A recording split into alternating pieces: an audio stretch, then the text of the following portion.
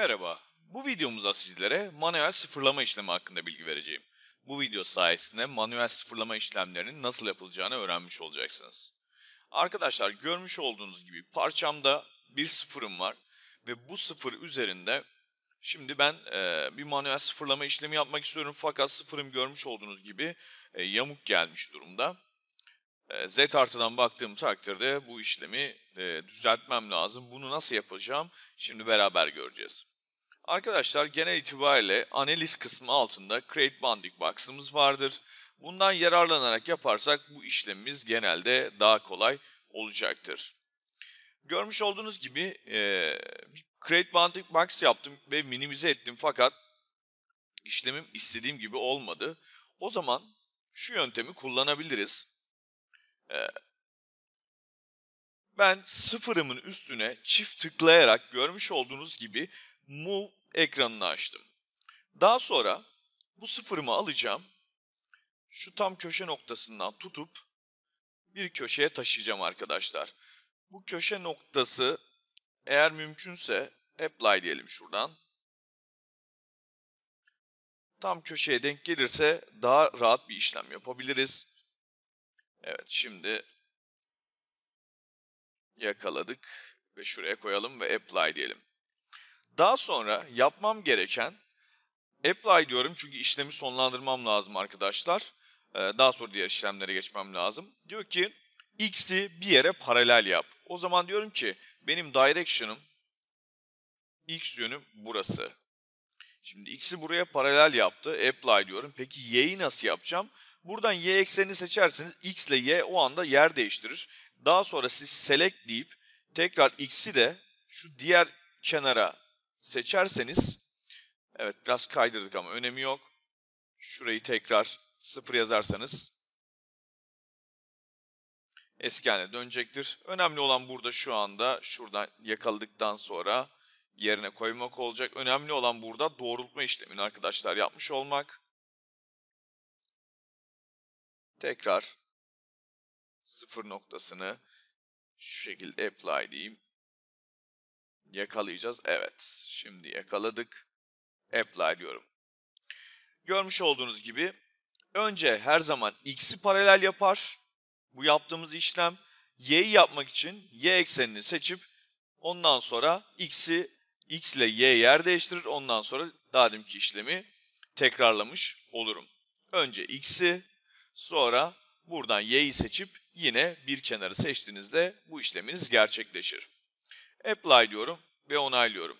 Eğer herhangi bir döndürme yapmak isterseniz buradan eksenel olarak da yine diğer eksenleri yapabilirsiniz. Buradaki amaç tamamıyla x ve y'yi doğrultmaktadır ve z yönünü doğru yön bakmakta arkadaşlar. Bakın siz invert derseniz görmüş olduğunuz gibi z'in etrafında yine döndürme işlemini şu anda yapacaktır. Hangisini aktif hale getirirseniz onun etrafında bu dönme işlemleri gerçekleşecektir. İptal ediyorum. En son halinde şu anda kalıyor. Evet arkadaşlar burada parçanın orta merkezini bulmak istiyorum ve buradan devam ediyorum. Create Bounding Box diyorum.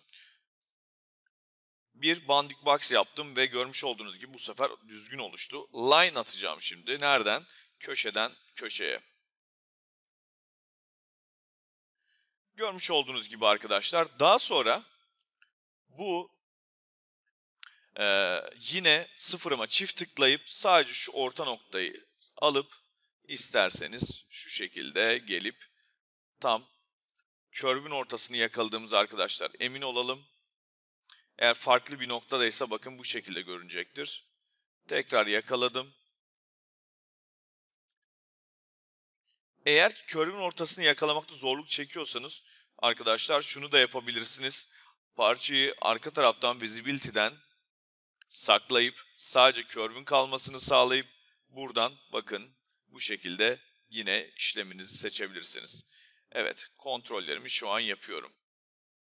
Ya da farklı bir yöntem olarak yine çift tıklayıp sadece x'i yakalayıp bu kenarı ortala, y'yi yakalayıp arkadaşlar daha sonra çift tıkladığımda ters dönüyor. Y'yi de buraya paralel yap diyorum. Tam ortasını yakalıyorum. Bu yaptığım her işlemde sadece o eksen hareket eder. Tam orta noktasından yakalamadığınız sürece hangi eksenden yakalarsanız şimdi aynı işlemi burada yapalım. Diyelim ki bakın şu köşeyi tutuyorum ama Z sadece olduğu yerde hareket ediyor. Hiçbir şey fark etmiyor. Evet yine sıfırlamamızı yapmış olduk. Tekrar parçamı açıyorum. Daha sonra yapmamız gereken işlemler arkadaşlar şunlar olacak. Buradan geliyorum. Jobs'ın altındaki bölüme new diyorum. Artık Project Assistant değil, Job List diyorum. Burada tanımlamaları tamamıyla biz yapacağız. Manuel sıfırlama diyor arkadaşlar. Bakın burada ismi verdi. Ben manuel sıfırlama 1 diyorum burada. Daha sonra Job List Settings'te Toolpath kısmında arkadaşlar şuradaki NCS'e geliyoruz. Change Path at Toolpath Name diyor. Evet diyorum. Burada arkadaşlar yapmam tek gereken şey onaylamak olacak ki yapmış olduğum sıfırı buraya alsın ama önceliğinde workplane diyoruz. Manuel dışarıda yapıp işlem içine girdiğiniz zaman workplane demeniz lazım ki o sıfırla yaptığınız sıfırla sizin workplane'inizi çakıştırsın. Daha sonra oyna, onaylıyoruz. Commons'ta açıklama isterseniz burada yazabilirsiniz. Bu kısımda da part önemli arkadaşlar. Stok kısmına geliyorum. Yeni bir stok oluştur diyorum. Banding, geometri kısmını kullanacağım burada. Ve birçok seçeneğimiz mevcut. Bunları da ilgili videolarda öğrenebilirsiniz. Box diyorum. Eğer ki global offset seçiliyse buraya ne yazarsanız arkadaşlar calculate dediğinizde her yere o kadar değer eklenir. Globali kaldırdığınız takdirde her taraf sıfıra sıfır olacak. Siz istediğiniz bölgeye değer verebilirsiniz. Şu anda 250, 150, 35'miş ölçülerimiz. X, Y, Z ölçülerimiz. Ben global diyeceğim. Buraya sıfır diyeceğim arkadaşlar. Tekrar calculate diyorum ve onaylıyorum. Mutlaka ve mutlaka burada çarpı olmayacak şekilde stoğunuzu görmeniz lazım. Calculate genelde bu işlem sıkıntı yaratmaz. Modele geliyorum. Modeli seç diyorum arkadaşlar. Şurada ilk grup içine Surface New Selection diyorum. Klavyeden A'ya bastığımda yüzeyleri seçiyor ve onaylıyorum arkadaşlar. Burada isterseniz herhangi bir e, offset miktarı verebilirsiniz. Tıkladıktan sonra şuraya yazacağınız miktar oraya eklenecektir. Parçayı kaça kaç işlerseniz işleyin. Daha doğrusu 0'a 0 bile işleseniz parça 2 mm stok kalır anlamına gelmektedir. Bu yüzden ben şu an için 0 diyorum ve onaylıyorum. Arkadaşlar material tanımınız yoksa bunu kaldırın. Şuradaki uyarı gidecektir bakın yoksa ünlem işareti gelir tanımınız olmadığı sürece. Daha sonra mirror kısmında e, parça sıfır ile alakalı e, parçayı yaparken mirror'ın da yapsın kısmı ile alakalı arkadaşlar bu. E, şu anda bunu seçmeyeceğim ve post processor tanımı kısmı. Bunları zaten ilgili yerlerde anlatmıştık. Tekrar onaylıyorum ve işi bitiriyorum arkadaşlar. Frame'e gelip manuel frame'e sağ klik set work plane yaptığınızda parça sıfırınız burada gözüküyorsa işleminiz doğru bir şekilde gerçekleşmiş anlamına gelecektir. Ee, Project Assistant dışında arkadaşlar eğer manuel işlemler yapmak isterseniz bu tanımlamaları sizin yapmanız gerekli. Ee, bunların da sırasını bu şekilde yaparsanız işleminizi tamamlamış olursunuz.